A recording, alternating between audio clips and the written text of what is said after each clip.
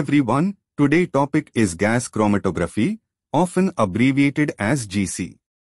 Today, we are delving into a technique essential for the separation, identification, and quantification of components in a mixture of organic compounds. Gas chromatography, or GC, is like a molecular detective. It helps us unravel the mysteries of complex mixtures by sorting their individual components, allowing us to identify and measure each one. Instrumentation Gas chromatography relies on a few key components. Mobile phase, in GC, three main types of gases are typically used. Carrier gas, this gas transports the injected sample to the separation column. Examples include N2He or H. Fuel gas, these gases support the flame in certain detectors, like hydrogen. Zero air, this purified air aids in the combustion of the flame in the detector. Sample injector. A heated block where the sample is injected. Liquid samples are injected using gas-tight syringes, while gaseous samples use automated injection valves.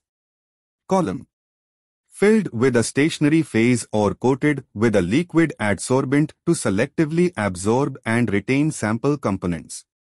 Maintained at a constant temperature by a column oven during operation. Detector identifies and quantifies components. Individual peaks on the chromatogram relate to concentrations, while retention times represent identities. Common examples include flame ionization detector, FID, thermal conductivity detector, TCD, and electron capture detector, ECD. Data system a suite of dedicated software controlling operational parameters like injection sequence, temperature, and flow rates.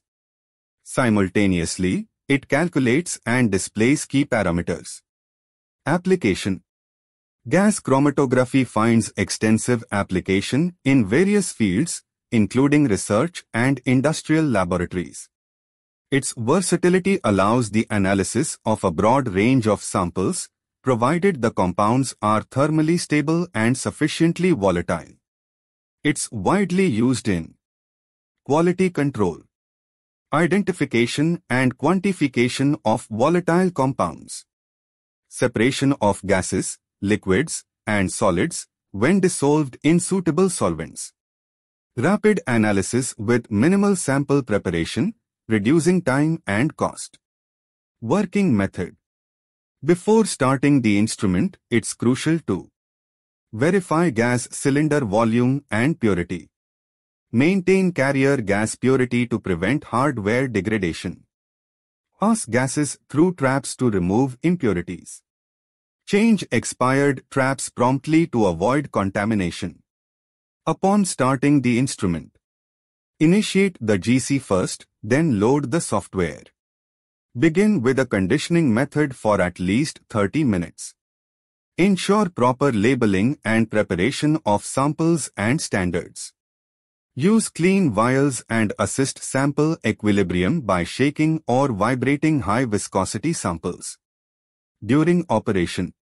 Adjust sample temperature to enhance solubility and equilibrium.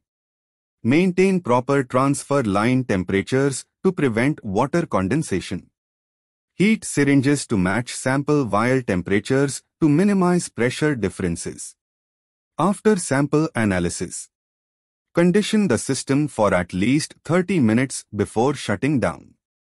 Ensure the detector temperature drops below 50 degrees Celsius before turning off the GC.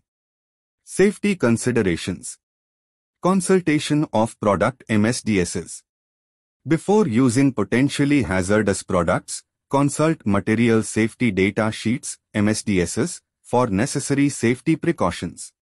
Visual inspections and pressure leak tests. Perform periodic visual inspections and pressure leak tests of the sampling system plumbing, fittings, and valves to ensure integrity and prevent accidents. Handling of fragile components. Handle fragile glass or fused capillary columns with care, and always wear safety glasses to protect eyes from flying particles while handling, cutting, or installing capillary columns. Cooling of heated areas. Before touching heated areas such as the oven, inlet, and detector, allow them to cool down to avoid burns or injuries. Electrical safety. To prevent electrical shock, always turn off the instrument and disconnect the power cord before accessing internal components or performing maintenance. Hydrogen gas safety. When using hydrogen gas, ensure proper ventilation to prevent the formation of combustible air-hydrogen mixtures.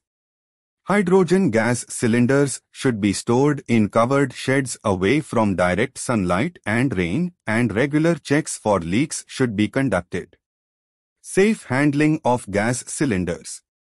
Store cylinders away from heat sources, combustibles and live wires.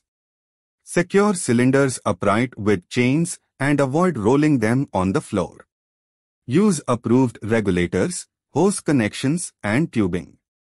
Use flashback arresters when working with flammable gases to prevent fire propagation. Never use oil or grease on or around oxygen cylinders, valves, fittings, or regulators as it may cause fire or explosion. Cylinders with neck threads should have a cap in place over the valve. Remove the cap by hand. Never use a screwdriver, crowbar, or other leverage device to remove the cap. It is equally essential to keep a regular check on pipes, hoses, and connectors leading to the instrument. These should be free of kinks or damage. Perform regular leak checks on all joints and seals. On completion of analysis, close all cylinder valves and allow the residual gas to bleed before turning off the exhaust vent. Never keep empty and filled gas cylinders in the same area. Do not store cylinders in spaces where they can come in contact with live wires as this can cause electric shocks. Non-compatible gases, such as hydrogen and oxygen, should not be stored in a common storage area as they can form explosive mixtures. Fire extinguishers should be provided in areas storing combustible gases, and these should be checked periodically.